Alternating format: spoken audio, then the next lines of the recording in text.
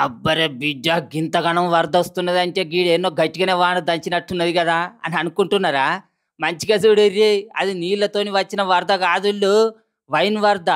Portuguese దేశంలో డైబోరా అనే ఊళ్ళో ఉన్న ఒక వైన్ ఫ్యాక్టరీలా ఏదో ప్రమాదం జరిగే వరకు ఇట్లా ఇరవై లక్షల లీటర్ల వైను వరద లెక్క గల్లీల పొంటి వారింది. ఈ వైన్ అంతా పోయి దగ్గరలో ఓ నదిలో కలిసిందట. ఇక ఈ వీడియో వైరల్ అయ్యే వరకు అబ్బర కొడుకా వరద కాడ మేమున్నా అయిపోవు.